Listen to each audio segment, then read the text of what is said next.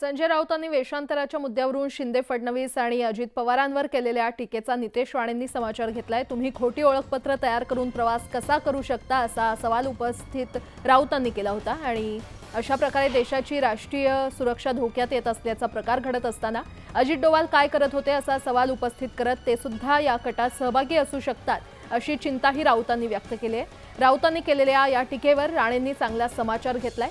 राष्ट्र सुरक्षेची भाषा करण्यापेक्षा देशाचं राजकारण समजून घेतलं असतं. तर रोज हे टेप रेकॉर्ड लावण्याची गरज भासली नसती असा घणाघात राणेंनी केलाय.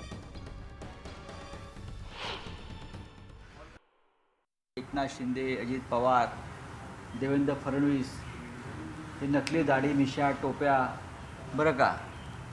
वेषांतर करून जे फिरत आहेत हरून अल रशीदप्रमाणे हे सगळे हरून अल रशीदची पोरं आहेत. हरून अल रशीद नावाचा एक होता.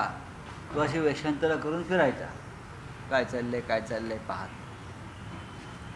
त्याच्यामुळे मी जी काल मागणी केलेली आहे की राष्ट्रीय सुरक्षा कशा प्रकारे धोक्यात येऊ शकेल याचं उत्तम उदाहरण एकनाथ शिंदे देवेंद्र फडणवीस आणि अजित पवारांनी मा देशाला दाखवलं. तुझ्या मालकानी कितींदा वेषांतर केलाय? कधी साडी घालून किंवा कधी बुरखा घालून? ह्याचे पण सव- काही संदर्भ आम्ही द्यायचे का?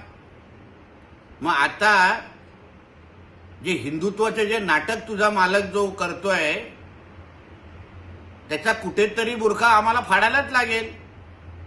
आणि मग कळेल